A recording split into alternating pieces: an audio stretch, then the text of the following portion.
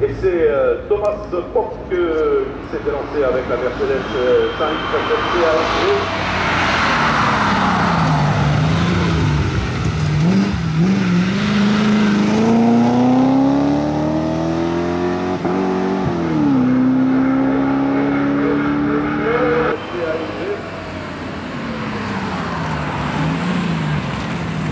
Angers.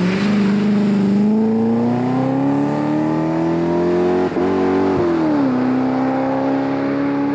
Pilote Jacques Renaud.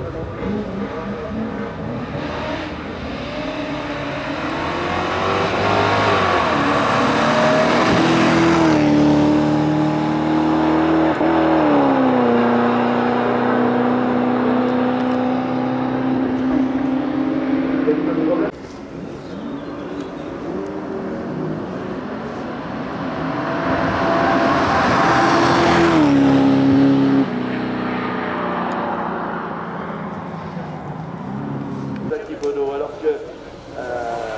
Bonardel se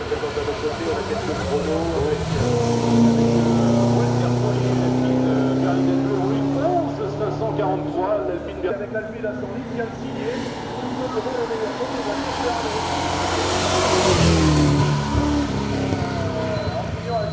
le meilleur 13,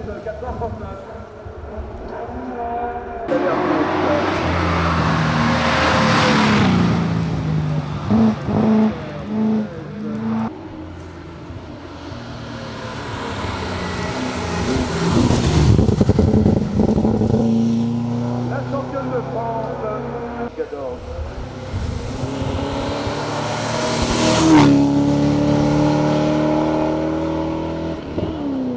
Anthony Rollet, lui, je vous le rappelle, une 14 380. La vraie, la vraie que euh, dont connais.